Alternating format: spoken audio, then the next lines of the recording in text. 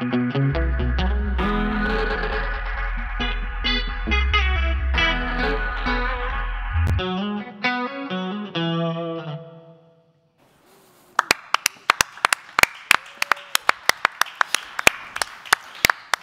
you. Welcome back to the second talk for today. And remember, if you have any questions, do post them to the NeosCon app so that they can be answered afterwards. Yes, and next one up is a very interesting person. We just talked uh, behind the scenes. And actually, he's uh, coming from the JavaScript world. And uh, it's his first time on a PHP heavy conference. And he's talking about PostgreSQL. So uh, that's a curious fact I just learned. And I think he has uh, much to talk about with Bernhard. Uh, so please. Please welcome on stage Tejas for his talk, Large Databases at Scale, PostgreSQL Edition.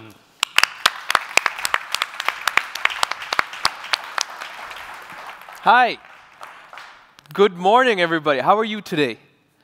Fine, I love it. Nice. Uh, you know, it's funny, I can't see anybody because this light. Um, but it's, it's, it's, even better. That means I, I, it's not you know, public speaking and it's not so scary.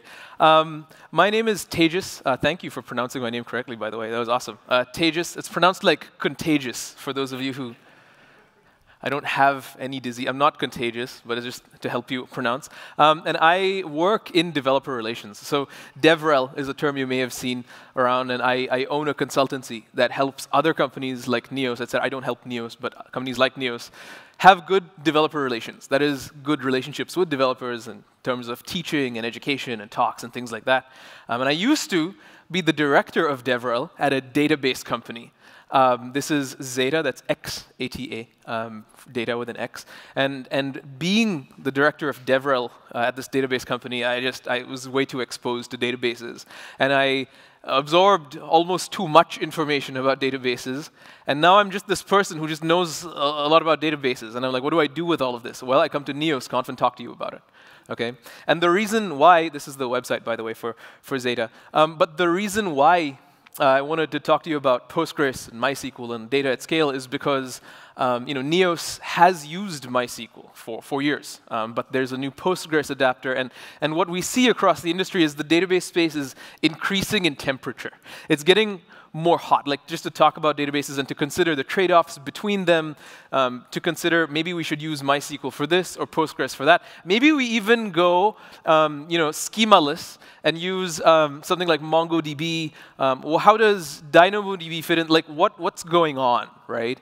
Um, and the goal here um, is to enlighten you about databases um, at scale, including the trade-offs you may face with them, so that you walk away from here more confident in having these conversations, in discussing um, databases, and even considering them for your own businesses and your own startups. Um, how many of you work directly with some type of database daily? Okay, keep your hand up if that's MySQL. Wow, almost. Uh, keep your hand up if that's, put your hand down if it's MySQL, and then if it's Postgres, wow, okay, there's like four people. This is so interesting. Um, how many of you are extremely confident with the trade-offs and the differences between MySQL and Postgres? Yes, that's, well, there's like one person in the back, he's like, ah, I don't know. This is good. This, that's why I am here. Now, if I ask you that question at the end of the talk, I would hope that your answer um, is, is yes, I'm very confident about this. Now, I, have, I thought I had 45 minutes. I have 33 minutes. There's a huge clock here, um, so I know exactly what to ignore. Um, just, I'm just joking. Um, but let's, let's get started. I want to talk to you about Postgres, MySQL, the trade-offs between them, and, and help you make the best decision for your company, for your job, for whatever.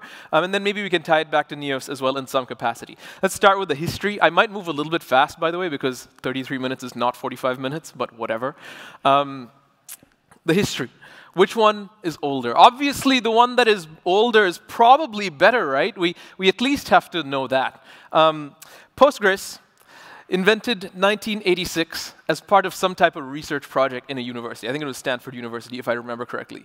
MySQL is newer um, and was initially open source, but then was acquired by Oracle and is, I think, now even maintained by Oracle. Um, MySQL is newer.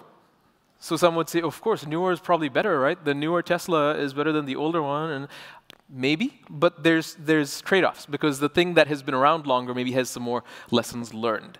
Um, if we don't consider history, what about licensing? Both are kind of open source, right?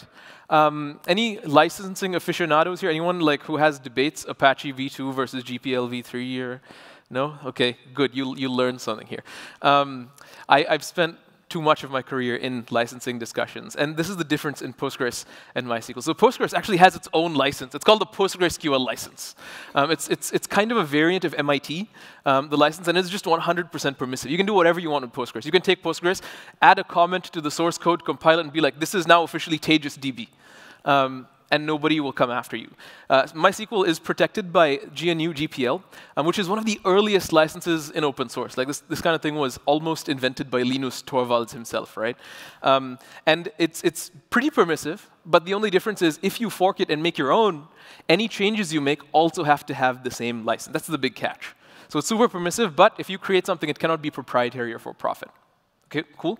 So that's the difference with licensing. Now what I want to do is some type of feature comparison between MySQL and Postgres. And this will maybe help you understand the trade-offs between them, but also understand why people are moving to Postgres or why people are moving away from MySQL or something of the sort. So if we look at a little comparison table here, what we see is that both of these database systems are kind of the same. and, and here I am talking to you about, oh, there's differences. And, and indeed, there are differences. But uh, I think we should appreciate how they're kind of the same. And I, and I want to share this with you because I want to put you at ease that you're not really missing out on something major, uh, choosing one over the other. For most intents and purposes, you'll be fine with either. It's a bit hard to go wrong if you choose um, one over the other. Uh, what we see is they are fully ACID compliant. You all familiar with ACID? Okay, like two, three, we'll talk about that. Um, they both support save points, two-phase commit, part of ACID transactions, which is pretty nice. We'll talk about those. They both have support. By the way, this MySQL thing on the right assumes the InnoDB engine. That is the newer default engine. The previous MyISAM engine is a piece of stuff. Um, and let's not consider MyISAM. Anyway, MVCC is multi-version uh, control and it, it um, allows you to support, it's kind of like Git. It keeps copies of old versions of things around, which unlocks um, discussions about vacuuming and so on. We'll get into that. They support locking at the row level, both of them. They both have support for foreign key constraints, that is, connecting um, one table to another. They have support for backups. They have support for different authentication mechanisms. I put LDAP there just as an example, but they support multiple times of types, rather, of authentications via plugins. And they also support logical and other types of replication. So um, you say, what kind of comparison is this? It's kind of the same, exactly. Um, it's not that different. So I want to dive into some of these things here because I asked about acid and there's like two hands up here. Uh, let's, let's get on the same page about those and then dive into the differences, okay?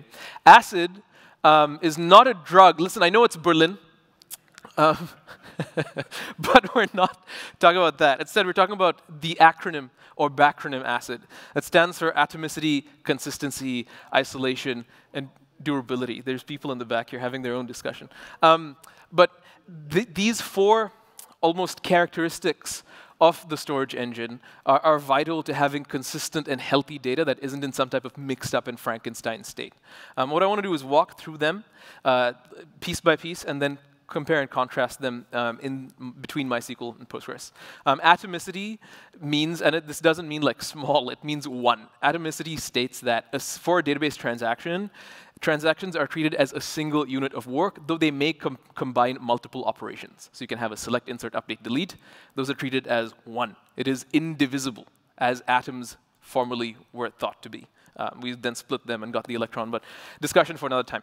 Um, so atomicity. Transactions are treated as one single unit of work across both Postgres and MySQL. Consistency. This isn't, this isn't like eventual and immediate consistency. This is not network consistency. This is more the consistency of types. That is, if you have a number type column, it will always be a number type column. You'll never have a string in a in a number type column, okay? Consistency. Um, isolation means that transactions run in a way that they don't interfere with each other. And indeed, if you have a synchronous system, then whether you run transactions in parallel or sequentially, the end result is the same. And lastly, durability, meaning it just stores stuff on disk, such that if the process dies, Uh, the data does not. The data is preserved. It is durable. Okay. Uh, some databases will store them in S3 buckets instead of the disk for durability. Whatever. We won't get into that. But durability just means it's stored somewhere, and the data is not lost when you exit the process. So this is ACID, um, and MySQL and Postgres both give you these guarantees. MySQL, again, with the InnoDB engine. We don't care about MyISAM. If you're using MyISAM, change it immediately. It is outdated. It is old. Nobody wants MyISAM. Okay? Uh, so that is ACID. Another point of similarity between these is save points. And save points are awesome. They're, they're little moments inside a transaction where you can say, OK, this is important to pause here and keep a checkpoint. So if, if something goes wrong, we come back to this. We roll back to this. I'd love to show you some code uh, just to illustrate save points. Again, this is common to both MySQL and Postgres. This is what a save point order looks like. So you begin a transaction, you insert an order to a customer, and you create a save point. OK, this exists. You, you insert some more things to the order items, and then at the very end, you commit that transaction. Okay? This is a classic transaction, looks the same in MySQL, looks the same in Postgres, whatever. Um, but you notice we're using the save point keyword to set a save point.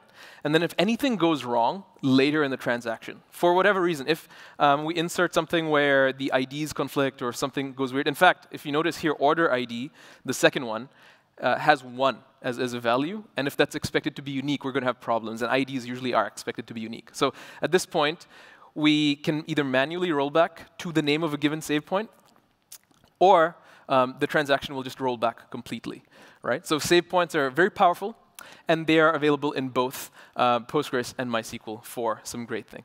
Next is multi-version um, concurrency control, and this is really useful as well for data safety. All of these measures that we have in common between MySQL and Postgres really are just to ensure that your data is safe. Um, this is pretty cool because when you update a record, I don't know if you know this or not, but in, in Postgres and MySQL, it will store copies of things indefinitely, usually, well, quote unquote indefinitely. It's kind of like a Git repo. Every time you commit, you still have the old code on your system. It's just not visible. It's, it's, it's in Git's you know, internal mechanisms. Databases, uh, specifically Postgres and MySQL, have this as well, such that they keep old versions around just in case. Um, at some point, though, they start to accumulate a lot of um, unnecessary artifacts, and a process called vacuuming takes place, where literally, like a vacuum sucks up a bunch of dirt and dust uh, from your house, that, but for databases, around this multi-version control, is, is a mechanism that's both available in Postgres and MySQL. So that's a bit of a dive into the similarities here. Um, locking, I'm sure we're all familiar with because we've experienced situations where our database has locked up and we can't interact with it, um, as well as foreign keys, so we won't dive into those. But these are fundamentally some of the mechanisms that you get in common between Postgres and MySQL. Is that clear so far? Great, I see some nods. So then the question might be, okay, but what's different? Because they're kind of the same. What's different? Um, can anyone here think of a difference, a fundamental difference between Postgres and MySQL? Uh, maybe show your hand if you can. Oh, I see one hand over there. Shout it out. What is it?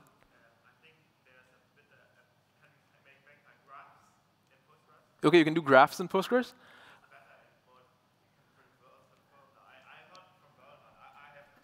Yeah, yeah. Um, that, that's in that direction, absolutely. Yeah, Postgres is indeed more extensible uh, than, than MySQL, and we'll come to that. But yes, excellent point. Um, I heard, I was talking over coffee to some of the attendees here about this. Uh, I unfortunately have the, the problem of always talking about this stuff, and so I just do it on stage sometimes. Um, but we, we were talking, and one of them said, oh yeah, but Postgres has support for the JSON type, meaning I can have a column of type JSON and then interact with it. Surely MySQL doesn't have this. Um, no. uh, MySQL does have support for the JSON type. In fact, if you look at the code differences in creating a table with a JSON column, they both look kind of the same across Postgres and MySQL. Um, you, you, have in Postgres, it's just literally one character, JSON B. Uh, and in MySQL it's JSON. And this is from MySQL 5.7.8. Before that, it didn't have it. Um, and if you, what about if you talk about querying, um, JSON type columns, this is kind of what you get. So you use this like pointer syntax both in Postgres and MySQL variants, dialects of SQL, and you can access properties, even filter on properties, and so on. You can even set properties uh, on JSON in both Postgres and MySQL. So this is definitely not a difference, and they are equivalent in this way as well. Um, so then, okay, what's, what's different? Um, this table outlines some differences between Postgres and MySQL. Wow, he's taking notes over there. This is awesome. This, thank you. That's very validating to me as a speaker. It means I'm actually talking about useful things. Um, so these are the these are the main differences, I would say, between MySQL and Postgres, just from my own experience, and also from the documentation and the use cases between them. Um, if you want to take notes, take notes. If you want to take pictures, take pictures. But the, I would say the, if you want to summarize this table, because, I mean, let's be honest, we don't really care that much about this. If we summarize things, there really are three main differences. And that is plugins, search, and workload types, that is OLAP or OLTP, analytics or transactions. And I want to talk to you in, the, in whatever time we have left about these three differences. I want to start with plugins. Um, plugins are ways of extending the functionality of database software. Um, they usually are written in some type of language like C++ or something, and, and they are kind of like DLLs, right? Like linked execution extensions. Um, MySQL, unfortunately, this is a key difference, is not as extensible via plugins or extensions as Postgres. That, that is a statement I can confidently make because MySQL allows you to extend its behavior in four specific ways. Like you're not going to be able to do more than that with MySQL. So you can have extensions for storage engines. For example, MyISAM versus InnoDB. Again, MyISAM's trash. Um, use InnoDB. Um, you can have um, extensions or plugins in MySQL for audit type operations, so you know to keep logs and things like this, for authentication with LDAP or Active Directory or whatever, um, and for search. There's search plugins for MySQL, but typically if you look at extending MySQL, the extensions and the extensibility will probably fall in these four areas. Uh, with Postgres, you can do Aleph um, literally, like it's, it's, it's very, very, to the point where you can just add types, like data types to it. You can do, and also because it's 100% um, open licensed with the PostgreSQL license, people have taken this to whole new levels. And we'll look at some forks of Postgres towards the end, but Postgres, you can do absolutely everything. Um, you can extend it by adding geospatial data types. You can use extensions like Citus that will literally give you distributed system architecture on Postgres and, and allow you to um, shard data. Um, you can also use foreign data wrappers, where you have a table in Postgres, but it actually is, is as a proxy to some external data source. It's absolutely nuts. Um, so Postgres is very much more extensible than MySQL, and that's a huge difference. So we talked about plugins, search, and workload as the three criteria for differences. Number two is indeed index types on, on the data, on the types of index that you can add that then enable and facilitate your search capabilities on your databases. And these are fundamentally different as well between MySQL and Postgres. Um, here's an example. Both MySQL and Postgres support B-tree indexes out of the out of the box, and I'm, there's a high chance you've probably created some indexes like this manually, or you've used some type of ORM that does this for you.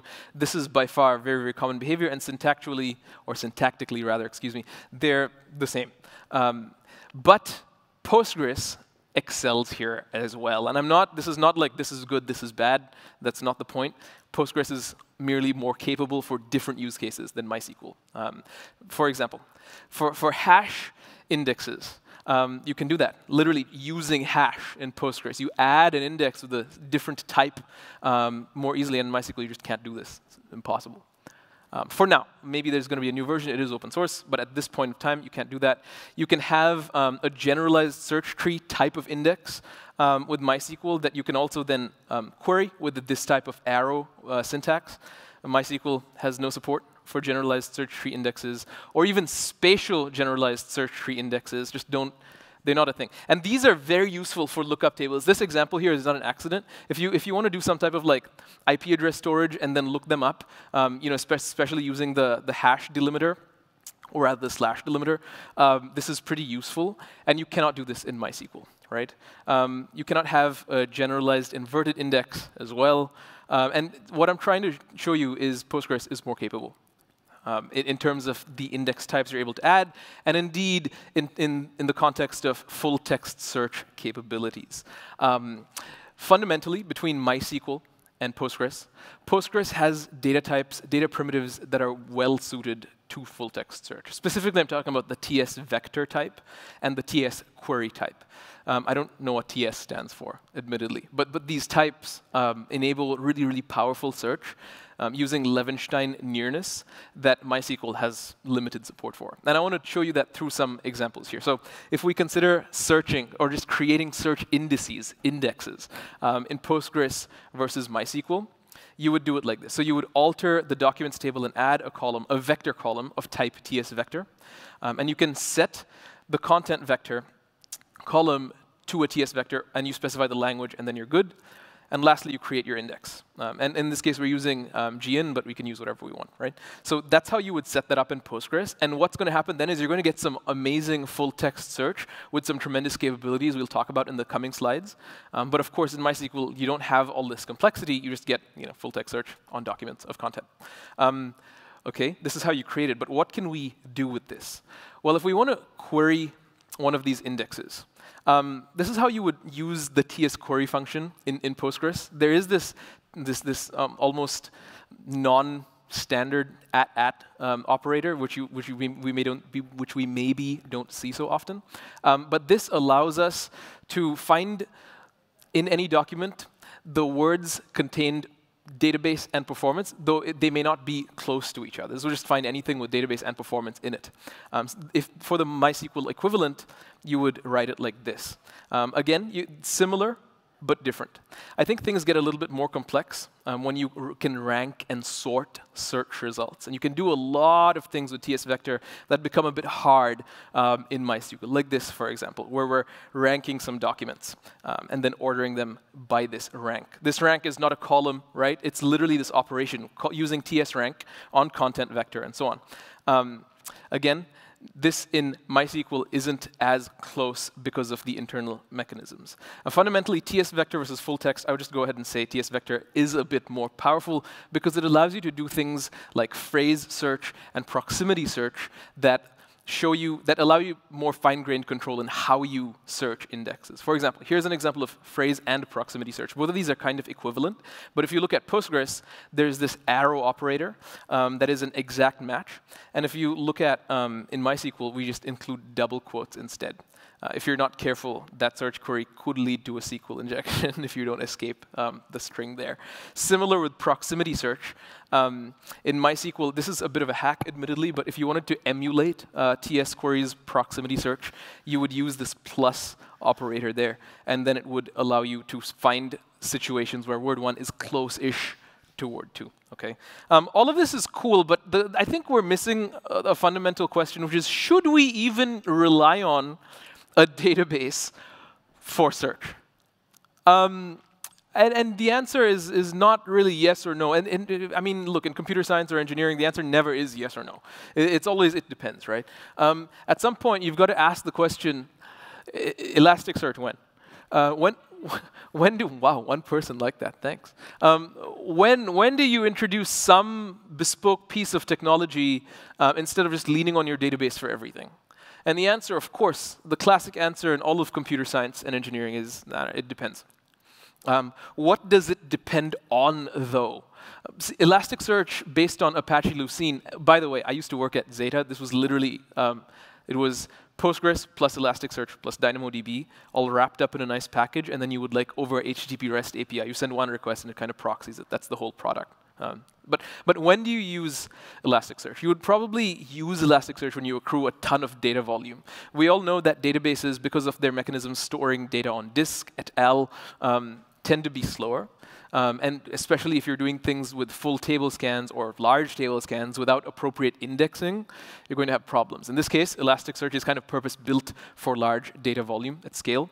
Um, wow, second point is scale. Who knew? When you when you reach the point of, okay, we kind of need some, some, some more scale, we kind of need to think about distributing this um, or, or, even sharding, at this point you bring in a third-party solution. Elasticsearch is distributed by default and therefore has mechanisms to coordinate nodes and so on. Um, Elasticsearch has support for real-time search, um, which, yes, Postgres has some capabilities, but in the context of search specifically, it does not. And so using Elasticsearch for real-time indexing and querying is, is pretty valuable. Um, as well for analytics. Elasticsearch has a full like built-in analytics engine that I feel like doesn't get talked about as much, mainly because the name is Elasticsearch. Um, but it, it has that. And lastly, it gives you just like a lot more possibilities. You can do fuzzy search. You can do autocomplete style uh, search. You can add facets. You can even use boosters. So you can say, this, I want you to boost by this column. For example, you're doing a search on movie name right? But you know your user likes horror movies. So you can say search for this query and boost by this column uh, genre if it's horror. Or you can do this kind of thing with Elasticsearch with built-in Postgres or even MySQL that becomes a little bit harder. So the, to answer the question, Elasticsearch when is when your use case becomes this complex. Okay, I hope that gives you some actionable insights there. Now, um, we're seeing a trend of, of movement towards serverless solutions. Um, I used to work at one of them. This is Xata, and as I mentioned, literally what they do is, is Postgres plus Elasticsearch plus DynamoDB. You talk to a REST API, they do this. I'm not sponsored by them. I don't work there anymore, and to be honest with you, I don't even like them very much. So this isn't like a placement or anything.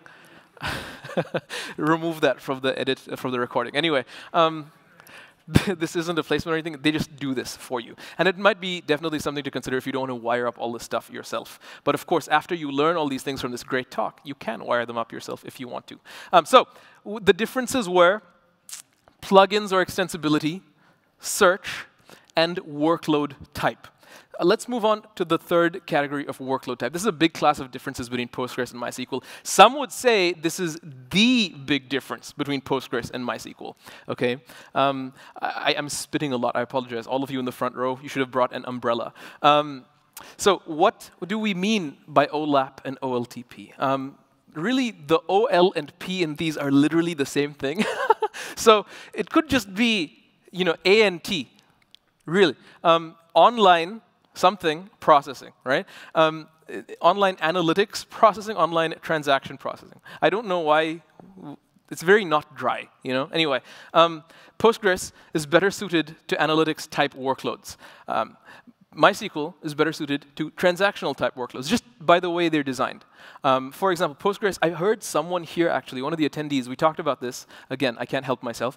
And um, they have an interesting architecture. So their main daily driver that serves the users on their website, these are transactional workloads, very read-heavy, right? Constantly reading and, and serving these read, and occasionally writing as well. Um, actually, transactions are more write-heavy. Anyway, um, their main database is this MySQL instance or multiple instances. And what they do is they have some type of ETL layer that pulls out ETL um, extract, transform, load. They, will pull data out of their MySQL database um, on some interval and then store it in a Postgres low-key data warehouse. That's what they told me, data warehouse. And, and this is actually a good usage of Postgres. Postgres is very well suited to this kind of thing. Um, and this is arguably why I think some people are moving to Postgres from MySQL. Um, in fact, Uber, a strong user of MySQL, recently moved to Postgres. Um, actually, yes, they, they did that. Um, so I want to talk to you about two cases, um, one analytics heavy, one transactional heavy, that really illustrate the difference between MySQL and Postgres for these respective types of workloads. What I'm about to show you is demos um, in things that, that Postgres can do with an extension, arguably, that, that MySQL just cannot do. It's impossible. Um, and similarly, I'll show you an example of something that MySQL can do that Postgres cannot do. And both of these speak to these types of workloads. Okay, so to get started, let's look at the Postgres demo. Um, we're going to exit out of this. Wow, look, it's behind the scenes. I'm going to hide my doc. You can't see that. Um, and what I want to do is pull up my terminal, and I will open the editor here. Okay. Um, excellent. Let's close all of this. And we have some demos. So we have the Postgres demo. And so what I want to do is first kind of get Postgres up and running. So I'll cd to Postgres. That's great. Fantastic. And I, am going to use Docker because it's nice and reliable. And I'm relying on conference internet, which I realize may be a huge mistake. Um, you know what? Let's not do that. Go away. Stop. Um, are we running Postgres? OK, we are. So I'm running Postgres. It's been up for four seconds. I literally just ran that command. I want to walk you through what we're going to do. So first, I, I, have the commands saved here so we can understand them. Ideally, you're all using Docker and you're familiar with Docker run syntax. OK, good. We don't have to talk about that. So we're literally just running my Postgres database and, and running psql to interact with it. Um, so I'm actually, let's add the password too. It's my secret password. Um, please, nobody hack me, OK? Um, so we'll paste this Ah, Great. P is for port. Who knew? Um, whatever, I'll just type it. My secret password. Great, we're in. So this Postgres demo, what we're going to do, I want you to watch and follow along. First, we're going to use the PostGIS extension. This gives us support for geospatial data types, literally like coordinates and stuff on a map. Um, this is something you already can't do in MySQL. But, OK, we create the extension. If it doesn't exist, it does exist. Awesome. So I just wasted your time. What we're going to do now is create a table called points of interest. Um, let's go back to the syntax highlighting. It's nicer. Uh, we have an ID of type serial. It's the primary key uh, the name of the point of interest, this is a location, um, category. These are just literally strings. I could even use the text type here if I want to. Varchar is a bit more performant. And lastly, the location. And this type geography comes to us from the PostGIS extension. And it's of type point um, with 4326. That's, that's something called the SRID um, of this thing. And this thing is just a coordinate specification of points on Earth. Okay, it's, it's regulated by the United States military or something like this. Um, so anyway, we're going to create this table of points of interests, hit enter, and done. Next, we're going to insert some data. Now, this is Berlin, so we're in inserting some coordinates uh, for the Brandenburg Gate, for the Pergamon Museum, for the Berlin Cathedral. Um, and these are the points in that coordinate system. So as we say, um, geog from text is a function that takes a string and converts it into a geography type. Um, this is, again, the coordinate system, WGS84, that we're using. Um, SR is the spatial reference system ID. Um, and ST is spatial type. So we're creating a spatial type from text, if that makes sense. Um, so this is the point of the Brandenburg gate. So we're going to add three of them into our database. OK, done.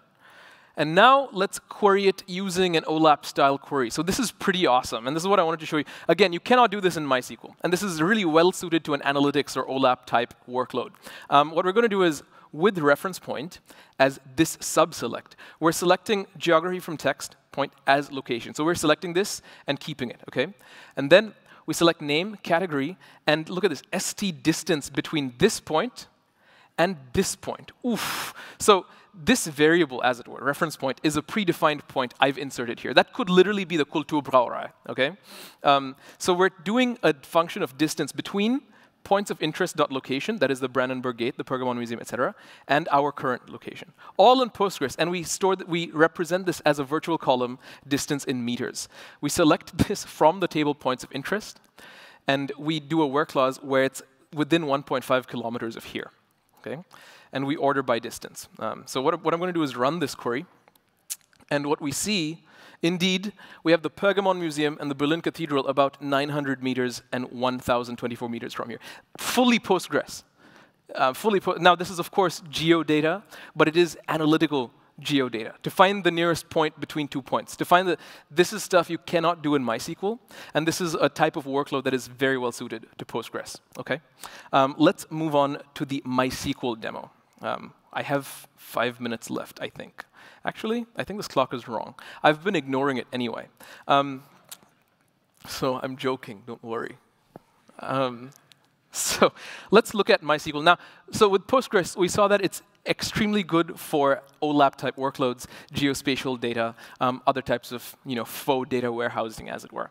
MySQL is well-suited to OLTP, or transactional workloads. Um, these are things like guess what? CMS use cases. Um, I think it's not an accident or mistake that WordPress or Neos or uh, Drupal or Joomla or whatever it is choose MySQL as their database of choice because it is actually really well suited to the web use case. Um, InnoDB even has like some type of in-memory cache before um, its disk access layer that will kind of serve as a pre-Redis almost. It's pretty uh, awesome. So MySQL has support for something called computed columns that Postgres does not have native support for, um, or even as far as I'm aware, um, support by extension for.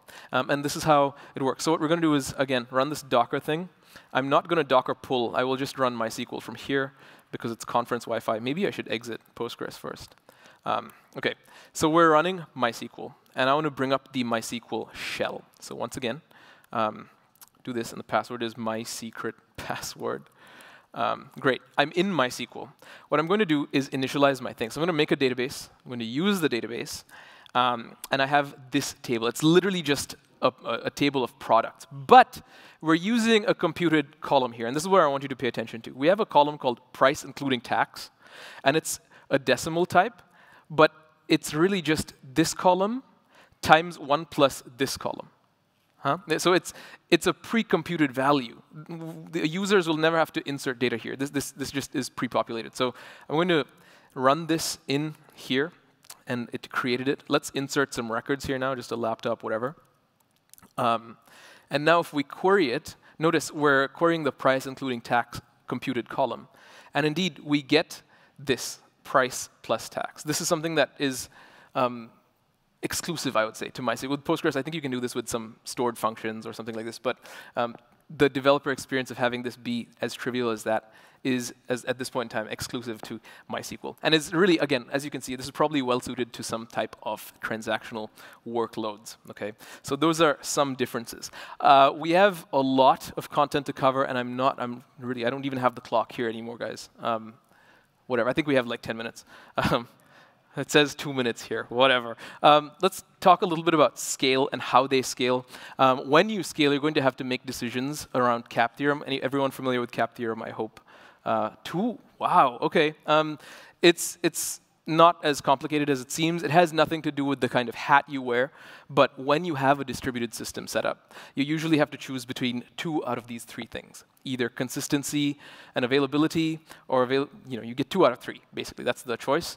Um, partition tolerance, meaning if in case of a network partition, so where there's a network breakdown, can your database tolerate that? Um, that is a trade-off you're going to have to make. And really, I feel like to summarize this even more, the trade-off is do you want data that is highly consistent, meaning for every given read, you always get back the same thing? Or do you want a database that is more available than it is consistent? And this is where you always get back a response, but it's maybe not the latest response because of something called replication lag. If you write a new record to the database, um, and when you had 20 records, now you have 21, reading back the number of records may sometimes give you 20, may sometimes give you 21 because of replication lag. That is high availability, but not high consistency. Okay, and it's just trade-offs. Um, in a distributed system, you can imagine consistency is more important for like banking type stuff, right? When, when I get paid, I want to know I got paid, and I want it to be reliable. I don't want it to go away in the next second. Okay, um, so at scale, you would have to consider these things. Uh, and MySQL and Postgres both have mechanisms in place that allow you to work at scale um, with these considerations. Specifically, I'm talking about the WAL and the bin log. Um, the WAL is, some, is, is, more of a Postgres mechanic, mechanic. It's called the write ahead log. Are you all familiar with this? Um, wow, I'm this one guy. I'm, I'm doing a good job here. Anyway, so WAL is it's a rec you know event sourcing. You, talk about event sourcing in Neos, right? WAL is like the OG event sourcing. Um, more or less. It's like this log of everything that happens on your database, full of segments of things that happen. So when you go to do an insert or something in your Postgres database, it will write this to the log as segments and then apply it to the database. And then this log will be sent, or these segments in the log will be sent to other replicas in a distributed setup, um, and it will replay them, literally like event sourcing. It will replay those segments to get the replicas up to state. Wow, event sourcing. Wow. Um, bin log is MySQL's equivalent to the WAL. It's a binary log of things. TLDR, both of them keep logs of events and use them in distributed setups at scale to bring replicas up to the same state as the primary. So you send a write, primary gets the write, maybe even makes the write, stores it on a log, sends log to the replicas. That's how, that's how that works. Um, in the WAL, you have multiple types of replication. We won't get into this because I'm already way over time. Um, but one is physical and one is logical. I think that's the simplest way. Streaming replication is physical, and that includes actually like working on disk and reading WAL segments from disk and sending them to the other disk and so on. But logical replication just sends the binary representation of the WAL segments to replicas. And it's in some cases faster, and the benefit of logical replication is that um, it's, it's version agnostic. Uh, you don't care about which version of Postgres the replicas are running versus the primary.